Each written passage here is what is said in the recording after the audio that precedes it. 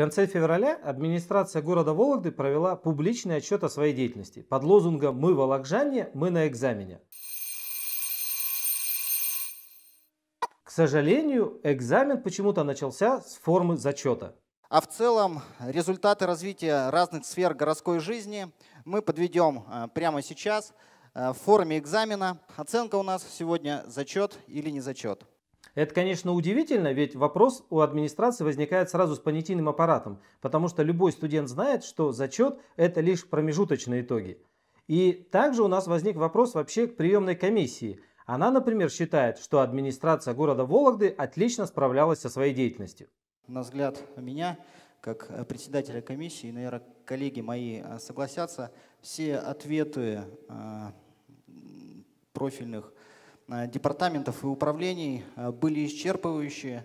Видно, что руководители значит, понимают те задачи, которые перед ними ставятся. Самое главное, они понимают, проблемы, которые есть э, в их отраслях, и э, видят на перспективу, как они вопросы будут решать.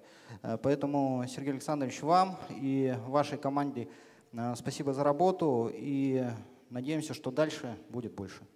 И мне очень интересно, где живет, например, Максим Выдров и члены приемной комиссии, если в Вологде, как мы считаем, например, очень много вопросов к администрации. Например, когда они отчитываются о ремонтах, которые были произведены в прошлом году. Вот Красный мост уже разваливается, Фрезеновский парк вот-вот оттает и развалится, и мы знаем, как его делали еще в ноябре.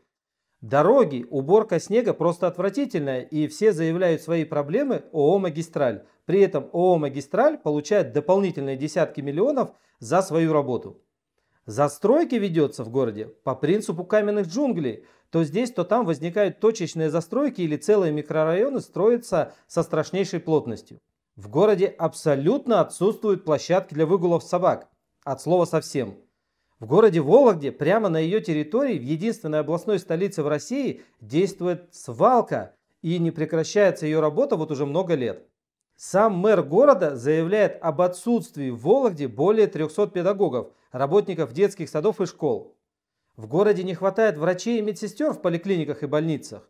А уничтожение культурного наследия происходило весь этот год. Уничтожен труд Чернышевского 14А, Чернышевского 2 и еще много других объектов. В городе постоянно уничтожаются зеленые зоны и парки.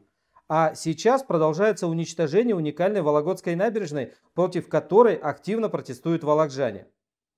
В городе голосование людей абсолютно не учитывается – Одна история с ледовой ареной на Конево показала, что администрация города Вологды абсолютно плюет на мнение людей.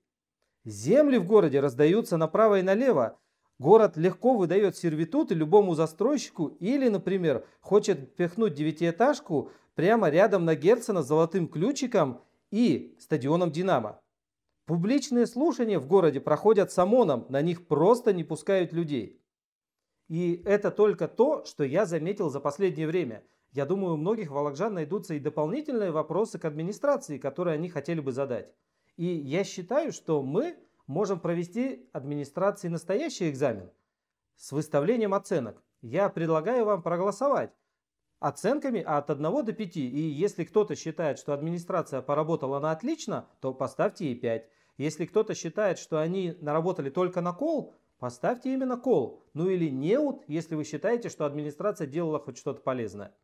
И вот если вы поставите свои оценки, а голосование либо в описании к видео, либо прямо в нем, то я прошу вас дополнительно запомнить еще один важный момент.